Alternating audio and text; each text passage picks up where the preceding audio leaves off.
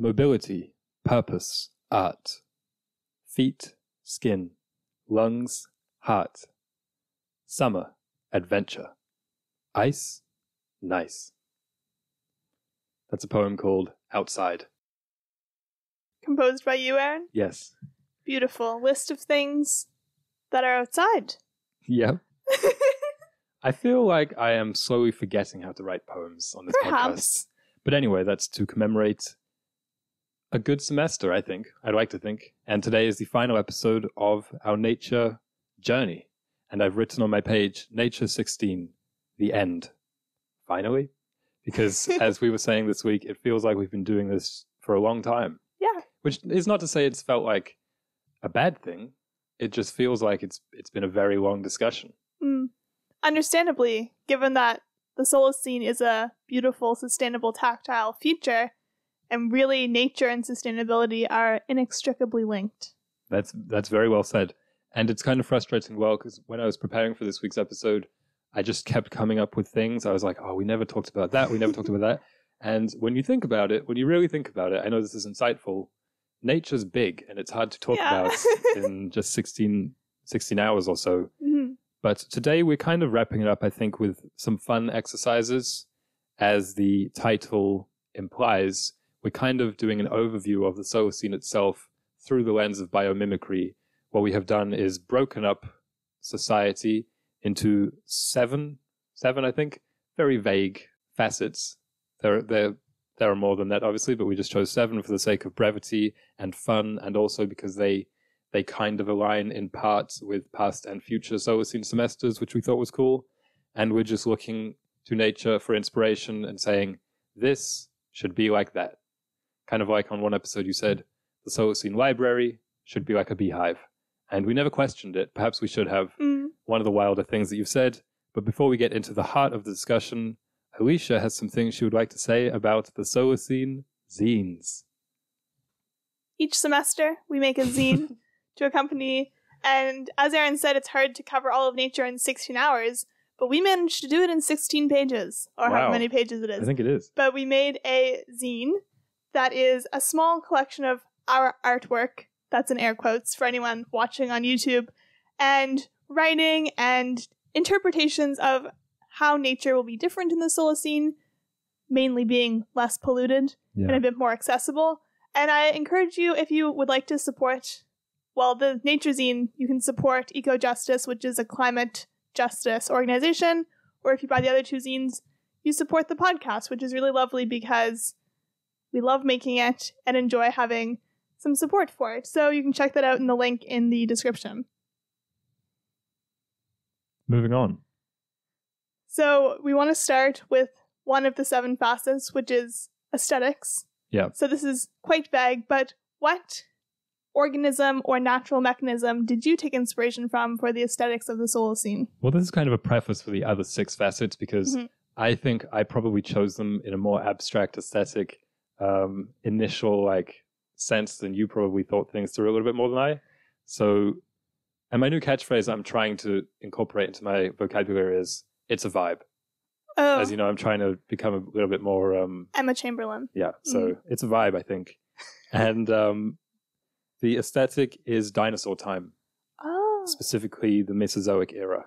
which mhm. I think is something like 250 to 66 million years ago, something like that. Not that I have recently looked at it. Um, and what do you think I find so appealing about this era? the sandiness.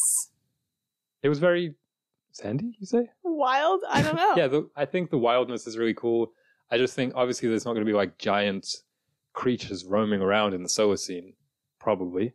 Mhm. but I like the vibe of like it's a vibe. If you went back to the if you went back to the Mesozoic era, it would be like a theme park. It would be so fantastical and so wild. There'd obviously be an element of danger, but it, in the Solacene, I'll phrase it more like adventure.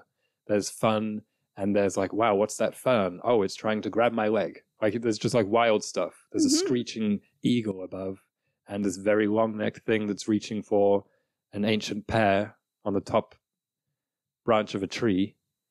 And um, Wonder. wonder is good. Yeah. Yes. And also,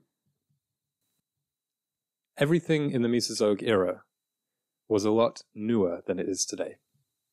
Hmm. When you think about it, it was fresher. It was fresher earth. It's true. Yeah. I like that idea. For mine, I said one specific species of bird who is called the Vogelkop bowerbird. and basically, it's not even after the bird, it's after the homes that they make. Okay. Because in the Solacene, things will be functional and beautiful. And of course, natural. So, given that this is a bird, they're not using cement to make their houses, they're Hmm. using twigs. And they make a three by five foot dome. So, like, pretty big, could fit a small child in it. And they decorate their front lawns with leaves, with shiny beetle shells. What else do they use? Flowers. And it's very simple. It's very cottagecore in the aesthetic. But I picture even if people are living in cities, that their homes will be a bit more, they'll take a lot more pride in them, the way that these birds take pride in their homes. Sure. And I think the aesthetic will leak into other parts of society. So, like, things will be not just all natural and Foraged. foraged, but they'll be collecting beetle body parts, similar to these birds, meaning the beetle body parts to me represent technology. Okay. Even if they're very natural, obviously. But I feel like these birds are doing this explicitly just for the sake of the beauty of it, which is very Solacene. So not just making it sustainable and earthy, but making it beautiful as well. And clearly, tactile. of course. Are they doing it with their beaks or with their little claws? Both. Okay. Did you Yeah. watch any vids? No, I just looked at a lot of pictures. So you can look them up, get inspiration for your next interior design project. Lovely. So, on the topic of housing, we should talk about the Solacene housing. Mhm. And I went for the coral reef Ooh, because of its zooxanthellae bacteria. love them. No, not for that reason. Because um, I just think if we must have urbanization and population density, which we must, and Mm. you know, can be a lot cooler than it is, um, it should feel more life giving rather than soul sucking. That I feel it, it is in most places today. Like it doesn't have to be so geometric hmm and prison like. I was talking to you this week about a news story I saw where I think it was in the UK. There was like a big um, unveiling of a, they had like repurposed an old prison into housing. And I was like, this, like that just says it all. It's kind of, Mhm. it's a sad thing, but I think coral reefs, if you look at the start of, let's say, Finding Nemo, let's just say that, they are um, such joyous and colorful places. And they're everyone's got their little nook. They're bustling, but there is also a sense of, I won't say privacy. I mean, of course, like it's housing, so it's like there's always going to be privacy, but like um, just a mutual respect. I feel Mhm. between between the people, and also let's think about what is outside of the coral reef. Like so much space. You don't see really coral reefs as far as the eye can see. I think in every direction, in every like three dimensional direction, there are very quickly like and fish just swim out so quickly and just explore the, the seas. It's not a literal metaphor. None of, Of mine are, but it's an inspiration. I like that. And coral reefs, those are those are important ecosystems. And I realize we barely spoke about them at all. I think we just did one episode about underwater things, so it would have been nice because do you know the estimated global value of coral reefs each year? I don't know. Six trillion T. pounds. What? Yeah, UK pounds. Well, Because I think they do such because besides the obvious for like fisheries and biodiversity, they are crucial for limiting the waves that strike coasts. Mm. So pretty good. And also, it just reminds me of a campus. There's something about coral reef reminds me of a fish campus, yeah, school of fish. it's true. That's probably where the name comes from. um, speaking of fish campus, the organism of the week is an organism, but they create these community nests. So it's another type of bird, and it's called. Can everyone see it here? Yes. The social weaver. So it is. It's a pretty like standard looking bird. It's just brown and black. Can I describe it though? Oh yeah, Because sure. the way you've des- you've drawn it reminds me of a criminal bird. it does have a little black mask. Let's say yeah. I don't know. There's like an animated movie called like Birds in the Slammer. It's about criminal birds going to jail.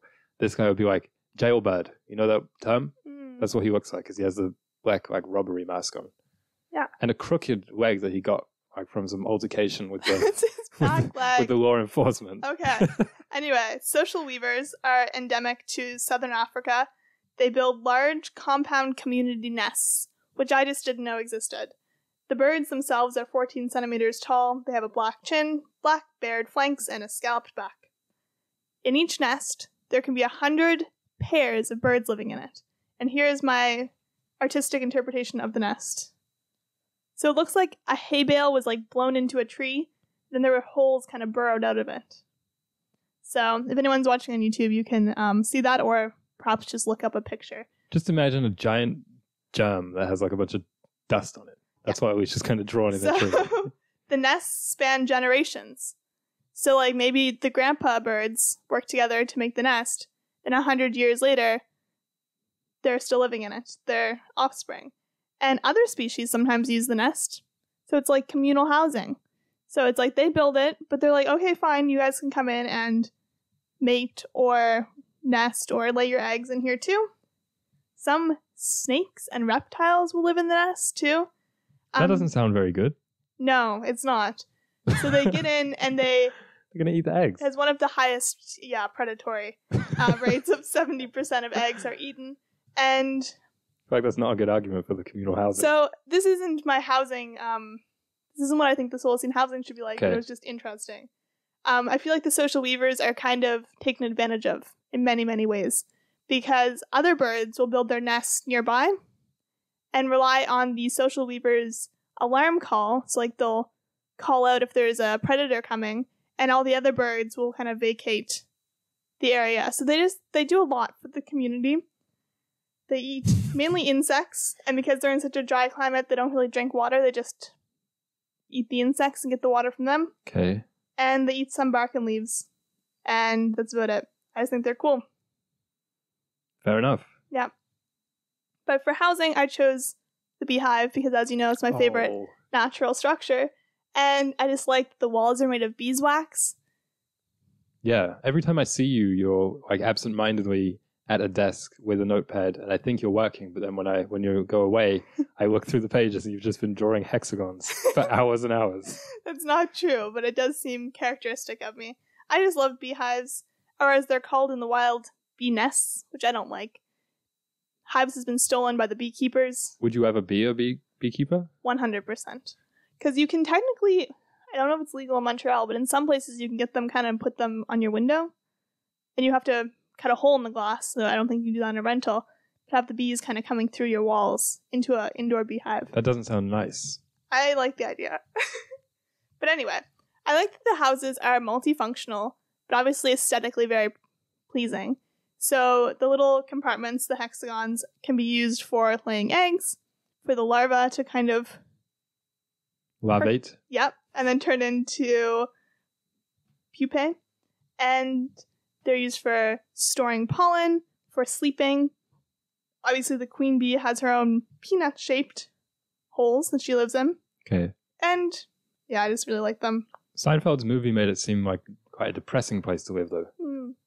That's the capitalist hive. Yes. We're gonna go for the the organic hive. But yeah, I like them, and I also like that they they're not often built hanging the way they're always depicted in cartoons. They're usually like fit into like a hole in a tree, and if you look up pictures of naturally occurring beehives, they look so cool because it's like there's a tree and then there's just kind of these bright yellow hexagons kind of poking out, or in rocks or things Yeah. like that, and I just really like how they fit themselves into the natural environment very seamlessly Mm. and unintrusively. Like they're not hurting the they're not like burrowing out a hole in the tree to live. It's just like they find a hole and then build the beehive there. And I think we could take some inspiration for that. That's cool. So they're just, it's a vibe. They are just fitting themselves into the natural landscape hmm wherever seems best. Yeah, and it's compact. So it's not like they're sprawling, they each have their own nest or their own hmm beehive. Like they all live together in community. Have you ever eaten honeycomb? I don't think so. I don't think I've ever eaten it either. I feel like I would really like it though. Mm. Um, the next facet, let's talk about communication. And I wanted to be representative of many different kingdoms of nature and different like scopes. So we had the dinosaur. I was more referring to the whole era itself. And of course, then we had, we went under the sea for the coral reef. Now we're going deep within to inside the human body. That's hmm. like the cells of the human body is what I'm saying for communication. Because this is something that always just amazed me when I when we first started learning about like how cells work and proteins, ribosomes, ATP, that kind of thing in high school, and still continue to amaze me through university and even like this week when I've been trying to learn more about why cells and how they know what to do. However many times I read the description about its chemical signaling and things like it Mhm. just I don't buy it because it just seems so sentient that it is amazing to me and I like that sense of mystery that I still have for it. And what I like about this and how I think human communication should or can take note from it is the way that everybody has a purpose. Like every little cell, if you remember the diagrams from high school biology, it would be like one of them picks up something and goes on a little crane and then drops it off at this other place. And they all just kind of do it intuitively. I mean, I think it's because they're like programmed to do so or chemicals or whatever. hmm Um, but there is, there's just a sense of efficiency with it and a sense of purpose that I think we lack today in our communication, where it's like, maybe I'll send a meme. Mm. And something else that we were talking about yesterday is in really big houses where people have PAs Yes. and they like call their children down for dinner like through a microphone in their room. And we were like, this seems a little bit off. And let's say in the old days, I'm not sure if this ever actually happened, but in like steampunk architecture where it's like you can send a, a message in like a pipe that mm-hmm. reaches their room. And today, obviously, you can just text or maybe use Alexa. I don't like that idea, but I'm sure you can do it. And this just seems like the opposite of that. It's so close quarters with the cells, and I think that's that's lovely. It's like a relay, I like that. a relay of information. Also, do you know what PA means? Do you know what that stands for? No. Public Address System. Oh, Yeah. interesting. Now you know. You're Yeah. probably going to forget, but now you know. I know. Maybe it'll be on the quiz later. For me, I chose the mycelium network of trees, which I've talked about on the nature series before, but again, it's to me the best natural communication system. It was funny, I was reading a bit about how scientists were attempting to translate the signals that these fungi can send over these long fungal strings, basically, is how they're described, um, into language. Like they would take the chemical signals and kind of mark them onto these like frequency sh- Oh, charts, kind okay. of like when you look at a podcast, it goes up and Yeah. down. Um, and it said they use 15, but upwards of 50 words. So it's like it is very codified the way that they send signals. It's not just like Yeah. a thousand different things. It's like they have a language basically, and this network connects most trees in the world underground within the top 10 centimeters of soil all over the earth total. There is 450 quadrillion kilometers of this network just in the top 10 centimeters of soil around the world. Do you want to know how big 450 quadrillion kilometers is? Half the Milky Way. So that's how many kilometers of this fungal network connect trees and other plants. And it can send chemical signals from one tree to another of like, hey, there's an infection, hey, there's an infestation, or guys, we need some help reproducing. Can you send some seeds our way on the wind, basically? And they can communicate like that, but they also can exchange water, nitrogen, other nutrients um, amongst e- each other. So it's like one would send a signal to the other saying, guys, there's a drought over here, and they would send water their way, which is really crucial in dry climates. That's how the trees or plants can survive. But they can also send antibodies. So this forest, maybe they succumb to a disease, but they can send out the antibodies to other organisms to then fortify themselves against it. And that's how it was originally discovered. That's so crazy. Yeah.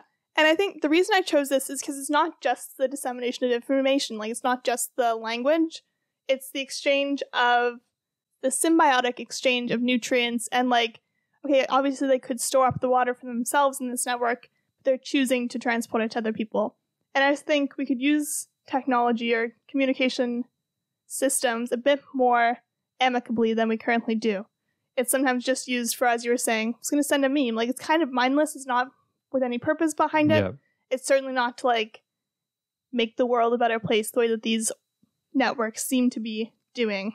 I think we can learn a lot from it. And it's like obviously these fungi who are living in the network doing all this work, they are getting water and carbon dioxide that the trees are fixing into the soil, but they're providing the trees with 90% of their phosphorus and 80% of their nitrogen. So it's like the trees just could not exist without this network, which is really crazy to me because you think of trees as such powerful centennial beings, whereas no, they need the support of the community underground and above ground.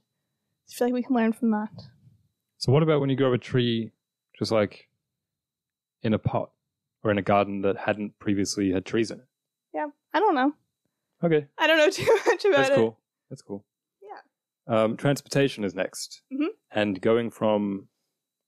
Well, I suppose you just talked about the Milky Way, so it's, Mhm. uh, it's topical because I wanted to reference the raw power of orbits Mm. comets, asteroids, these gravitational mechanisms which move the huge celestial bodies in a way we cannot even fathom the scale and Mm. sometimes the speed. And so I think for our transportation, we can take inspiration from that. So gravity, magnets. Well, it's magnets. It's like using harnessing. I'm just, I Mm. put that in quotation marks, harnessing, because I feel like it's always There's gonna be a lot of harnessing. a lot of harnessing, yes. Um, Okay. Like in Interstellar, the movie, Mhm. they do a gravitational slingshot, hmm which I always thought, remember that? Yeah. I was like, that's so cool. They're harnessing. Or if you think about like a ski lift that's down, downwards, Mm-hmm. and maybe it harnesses the power of a stream to Mm, kind of ferry you down like that. I see. What of harnessing.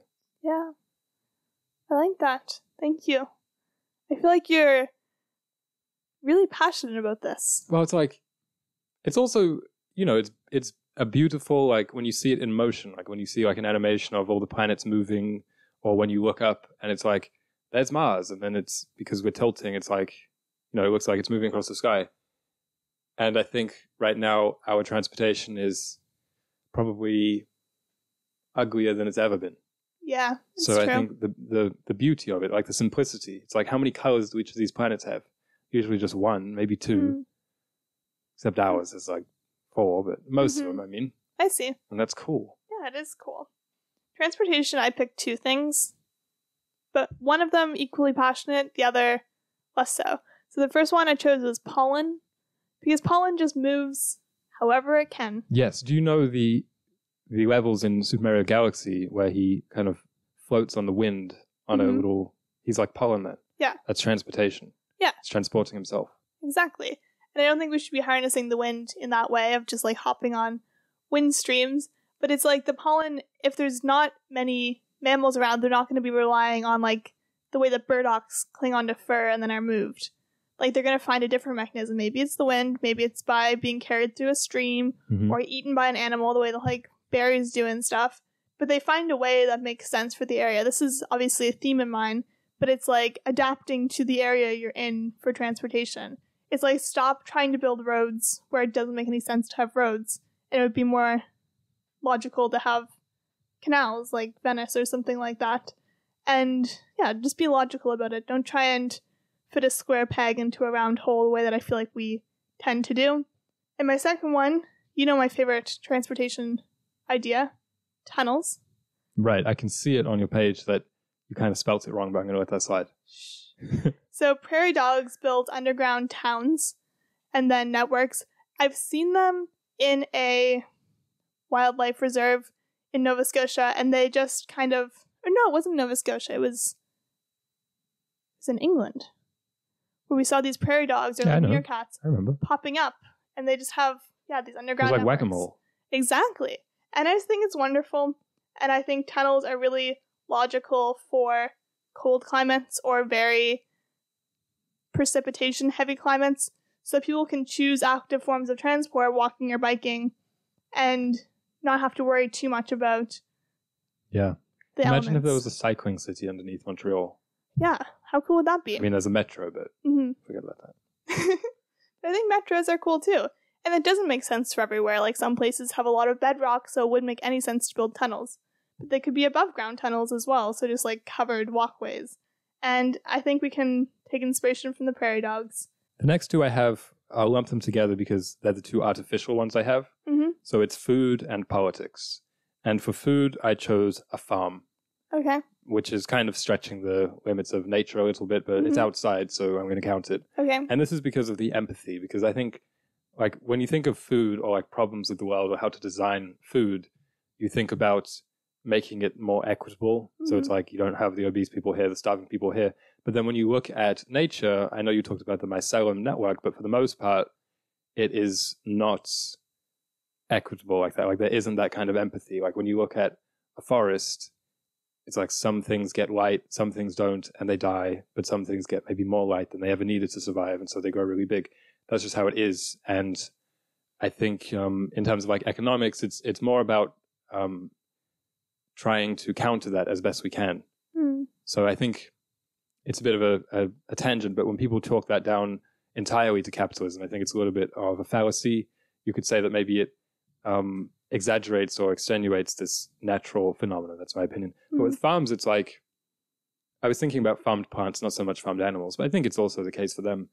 Everything gets its own spot, every seed, and they all get pretty much the same amount of water because it's quite uniform and the same amount of sunlight. And it's like almost, I know that like farms still get like a bum strawberry, but for the most part, it's all Honestly, good. that's really an incredible metaphor for society at large. Thank you. The plants being treated equally. Yeah, I don't I mean I don't want to think about us being farmed because obviously the end of the lettuce's life and it gets picked and eaten, but Hmm. I feel like it's growing there. It's quite fair, Yeah, quite a fair time. I like that. For food, I chose the sea slug. Obviously, I want humans to be able to photosynthesize, but also still be able to eat. And these are the slugs that basically they're called kleptoplastics, and they absorb the chloroplasts of other photosynthesizing organisms and kind of incorporate them into their cells. Apparently, they're not born with the chloroplast in their cells. I always thought that they were. It was like somewhere along the line, the chloroplast got absorbed and then was passed on, just like within the the cell.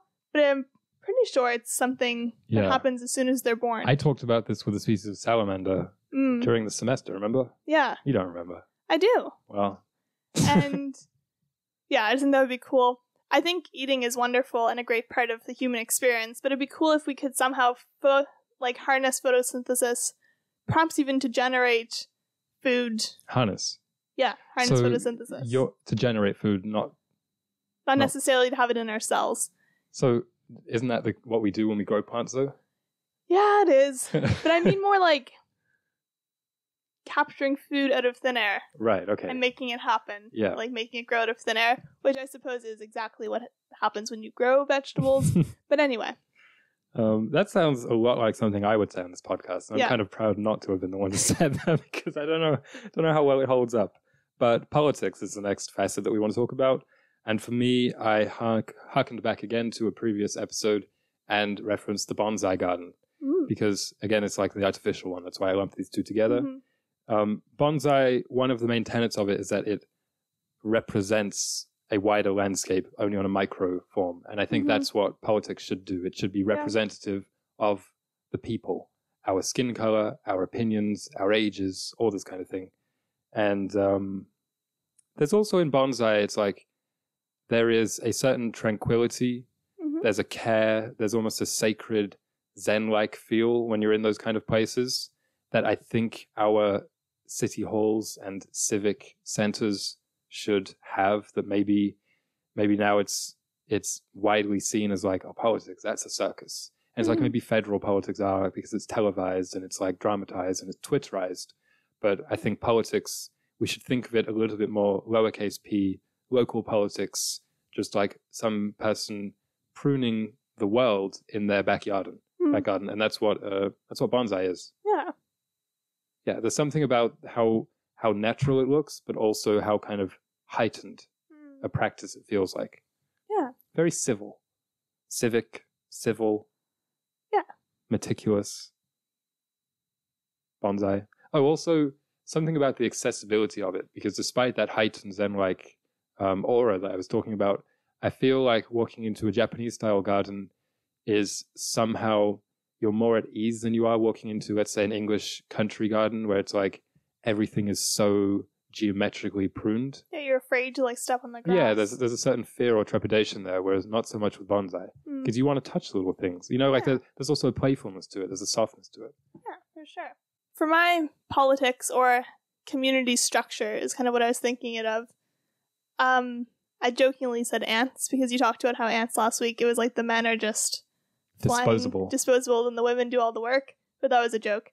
Um, so I I, know it's not a joke, and I know that behind every joke there's a piece of truth. So you just outed yourself as a radical feminist on on this podcast. I heard um, a few days ago about in the 70s, women were just setting up women camps, basically, where they would all go and live away from society. And my real choice was fish, just schools of fish. Yeah. Because they move in the same direction at the same speed and they turn simultaneously. And I don't think we need a hive mind in our politics, but I think we need a bit more pulling in the same direction. It's like maybe we, of course, we'll disagree of how to get there, but it's like the end goal should just be equitable food or equitable access to education. Should be the Solacene.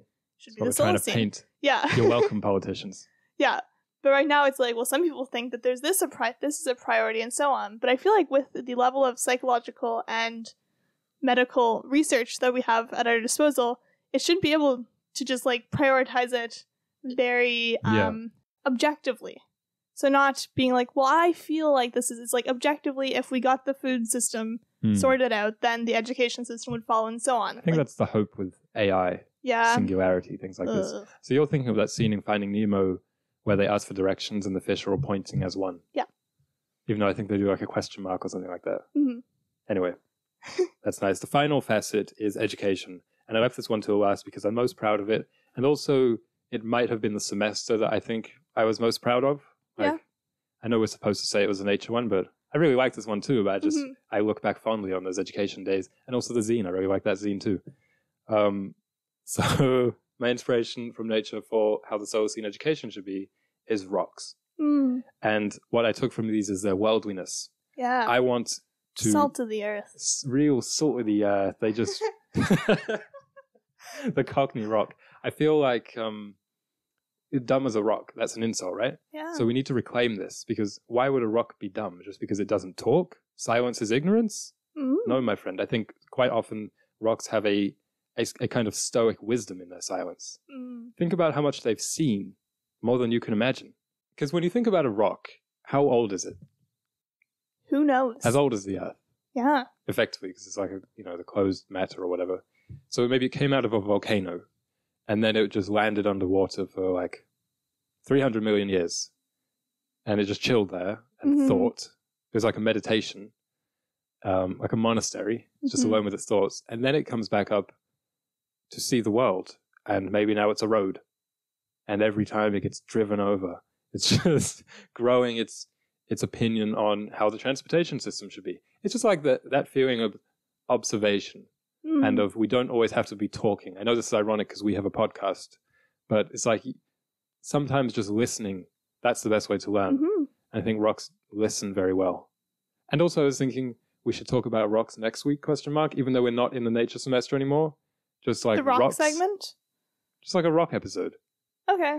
We don't have to, but it's just an idea. Yeah. Or we can have a segment called the sedimentary segment. Okay, I We'll know see. you you're feeling your wordplay a little bit too much these days. But I keep forgetting words It's a too, so vibe. it's balanced. It's a vibe. Um, it's funny that you chose rocks because I also chose something to represent that we don't need to talk so much. And I just said all animals, which is obviously quite a cop out. Yeah. But animals learn through observation and through experience. And I feel like when we're educating humans, we rely on language. So it's like until kids are four or even older and they can read, it's like we feel like, oh, they can't really learn anything because obviously they don't have the language for us to communicate with them, them to communicate with us. They can't read things, they can't ask questions. But really, it's when they're learning the most. Exactly. And we need to incorporate them into things like, hey, we're going to go together and we're going to dig this hole. and then they'll learn how to use a shovel, fine motor skills, all these different things.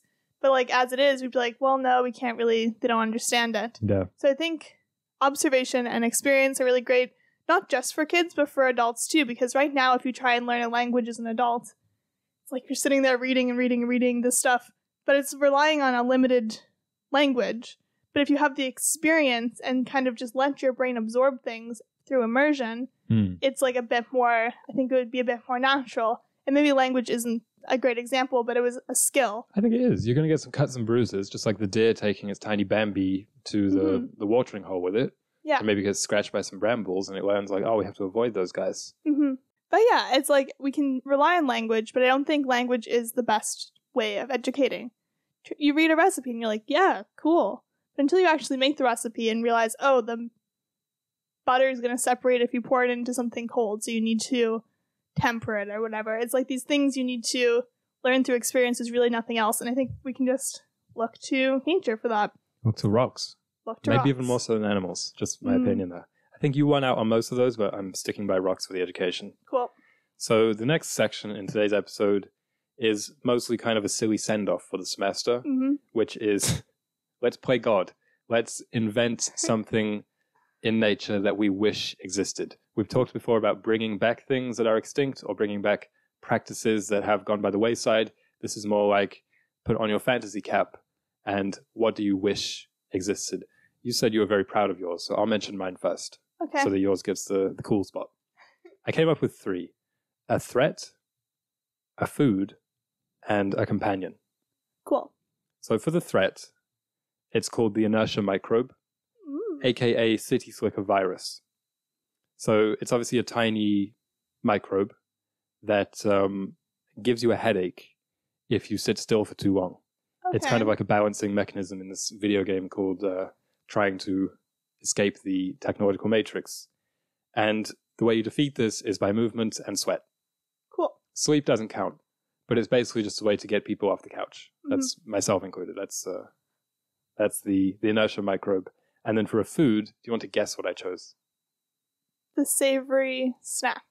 Pretty much, it's called uh, flesh grass. Is it warm?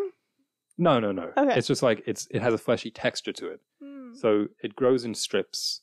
Yeah. I was picturing the snack being kind of like um, beef jerky, Yeah. but it's it's a plant, and it's savory, and it kind of it has the texture like you can rip it, like it tears, hmm like you know how mango is like that, yeah. but it's dry. It's not like wet like a fruit. Okay. We should try and. I've never tried it, but I've heard that jackfruit is like that. Yeah, plantains they they kind of have a similar vibe to it as well, hmm very savory, but I want it to feel like fulfilled. Yeah. Retweet this episode if you agree with me. We're not on Twitter, but do it anyway. And then for a companion, this is called the snorkel bear, aka Eurasian Quimby, and it is three to The Latin name and everything. yeah, it is uh, three to four feet tall, and they're so named the snorkel bear because their face slash snout kind of curls up like that, Snorkel. Yeah, uh, like an anteater. Mm. Even though theirs goes down, I think. Whatever. Um, the lifespan about fifteen to twenty years, so it's like it's a good compa- companion for you. Mm. and they're vegetarian, like pandas. They're very strong, um, house trainable. So they're like they can use the bathroom. Picture how tall these guys are. Yeah. they can walk on it. on two feet or on four, like a bear. Um, and they love to wrestle. Oh. So that's what this is. Because I was thinking about like pets, like what kind of animal friend would I like to have? And obviously, dogs is the main thing. And I love dogs, but one of the things with dogs, most most breeds, I think, and most individuals, is that beyond once they grow out of their puppy stage, you lose kind of that physicality where they're like, Mm. I mean, there's a lot of dogs who love to play, but not often are they playing with you, like kind of wrestling with you or like, Hmm. you know, doing that kind of thing. So I think this kind of thing, it would just, it would be really fun to like wrestle one. This is inspired by your insomnia last night when you were saying, I need something to wrestle with. Like, I need to get this energy out. You wish you had a snorkel. A snorkel bear, yeah, aka Eurasian Quimbley. hmm Um, there's two different varieties. One's all beige and one is like a dark red. Okay. I don't know why I thought of that. Yeah, that has to be two. Um, that's funny. Which one would you want? Would you want one of these festival? Of course you would. Sounds creepy. No, it'd be soft. It's like a giant teddy bear. But they're very strong also. But like they're the vegetarian, the so they're not going to come for you. You want the Mm. red one? Yeah. So if you stain it, it wouldn't. Yeah, the beige. If you spill some grape juice on it, it might not might not work. Okay, my organism's kind of similar to your first one, so I feel less cool now because Okay. you invented three. Sure. But mine is called the single-use plastic flies. So they're like fruit flies. Yes. And you know how fruit flies seem to just spawn out of nowhere when you have the rotten fruit? Right. And they will instantly force you to get rid of the rotten fruit. Yes. Because you're like, I don't want these around, I don't want them to multiply. With the plastic flies, it doesn't have to be just single use, but the plastic flies, we'll call them, they are basically to deter anyone from undercutting any government regulations of like no plastics okay. because it's like, okay, there's always going to be the person who's like, well, plastic's cheaper, I'm going to do it. And so someone buys this plastic object, and then instantly, out of who knows where, I was trying to research where they come from, and it's like, they're attracted to the smell. They can get in through tiny holes. And I'm like, but where are they coming from? Like the fruit flies. So this will just be the same mechanism they spawn. Um, perhaps from the depths of hell, perhaps from Yeah. who knows. Well, the, the medieval theory was abiogenesis, right? yeah, It's like they just arise from the rotting fruit. Yeah. Which I'm still not convinced that they don't. yeah. I'm joking, but I like this organism. That's a Yeah. very fun idea. I think it's kind of telling that, like, that's a good um, environmental one, right? mhm. Neither of us thought about like some just great carbon sequestering. Well, I thought about that, but it's like in the Solacene, it won't be as much. That's like true. it'll That's be true. kind of fixed, but it's still. This is kind of a deterrent from doing it. And imagine how infested the factory would be, because it would just be full of these Yeah, it flies. sounds like it would cause a lot of chaos. Though. That's the goal. It's like a Make people biblical stop it. plague. Yeah. Okay. So yeah, this the plastic fly. So I heard that you have a quiz for me, Aaron. Yes, of course, the real silly send off for the nature semester. Mhm. Going to quiz you. I think I've only done this one time before at the end of the degrowth semester, but I like it. I think we should do it at the end of every one, but we should like alternate. Okay. So next time you quiz me. This time it's not just made up like the house points at Hogwarts. It's out of 52. okay. So you have to try and pass. You have to try and get over 26. Okay. That's the goal. It's a quiz looking back at the semester. So listeners can play along at home if you want. You probably won't, but it's like everything here we have either said on the podcast or in the zine. So Mhm. it's kind of like testing your memory and how much you really learned. Because one of the original ideas for the Solacene was this is like the university course that we never took. Mhm. So how much are you actually learning? yes. So there's 10 questions, and the first one I'll ask is worth five points. Describe the solar scene. Solacene is the beautiful, sustainable, tactile future where climate change has been resolved and society has established mechanisms to safeguard current and future generations' well being. Give me some detail. Because that just sounds to me like you recited off our podcast description or one of the uh, Instagram bio or something like that. Oh my goodness. Give me a vibe. It's a vibe. Lots of trees, no cars, bikes, houses that are authentic and cultivate joy and zest for life. the government is strong yet unobtrusive and very motivated by the people. Okay. There are a network of natural parks that are easily accessible by train, and people are encouraged and empowered to visit these areas as much as they desire. And workplaces are meaningful. They're not just Cogs. cogs in a wheel. Okay. They are Okay, okay, okay. I'm gonna give you a four for that because I think it was it was quite good. You you definitely grew into it, but as I said, it was a little bit unoriginal, and I was just looking for some flair. Okay, uh, th- most of them are just factual questions, so I'll, I'll give you that. Okay, um, what's my favorite type of ecosystem? Oh my goodness. Your This is favorite worth type three three points. ecosystem is mine was bog. Yours It's from coral reef. no, Probably invented something. no, I didn't. It was in the Yukon, the Yukon like boreal uh, wilderness forest thing. Is that actually your favorite? That's what I said in episode one. But is that actually your favorite? I fluctuate like any person. No. I'd say nine times out of ten you'd say coral reefs or something aquatic. It was in that week I wanted to move to the Yukon. Do you You're remember? thinking of changing your name to Nemo. okay. What kind of leaf is included in the nature zine? Spoilers for people who haven't yet bought one. There's a maple leaf in the nature zine. Okay, that's three so I went out and collected them. Uh, question four. This is worth 10 because there are 10 possible answers and you just have to name as many as, As you many can. I can. Your favorite textures of nature. Also, I don't have the answers for these, so this one is in your book. But you can't look yet. I'll try and maybe take notes of them. Yeah. My favorite textures cracking ice under your feet, under your shoes. Yes. Actually, I do have the notes. Yeah, okay, that's one. Okay. I don't know why that's the first one that came to me. Um amber, like the Yes. sticky stuff on Tree resin. Yeah.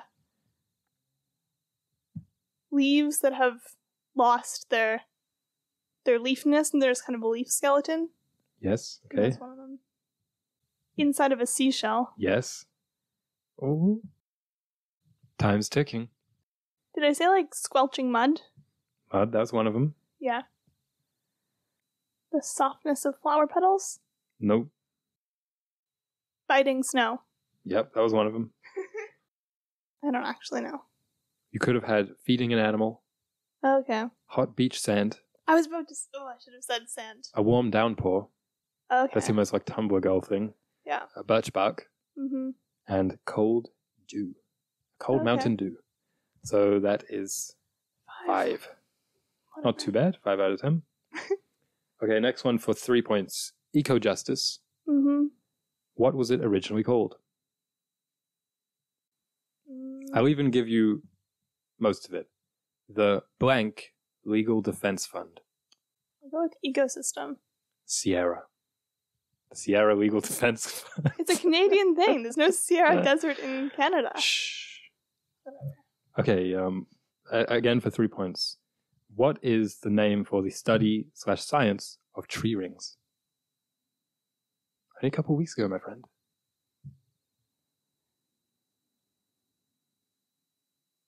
Dentology? I'm going to give you one point for that. It's dendrochronology. Oh my goodness. I think that was pretty good. No, no, no, no. no. Remembrance. No, no. Nope, no. Okay, next question. For three. Are dinosaur bones real? No. Elaborate. They are molds that were left by the bone and filled in with calcium deposits. Nicely, nicely. Okay, that's three points. And for a bonus point, what do dinosaurs do, or what did they do? It's a one word answer. Roam. They did roam. so that's four points for you. What did dinosaurs do? Um, for three points again, what is the largest unit of geological time periods?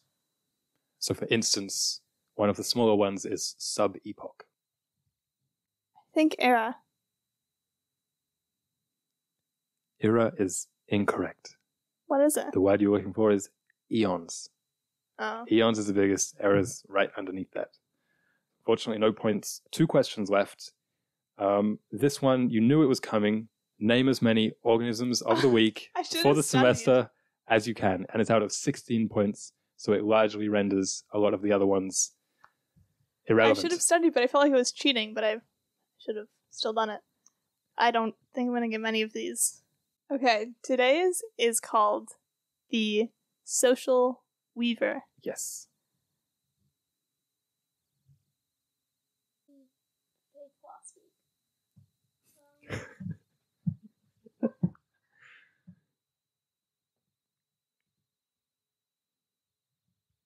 Bonsai.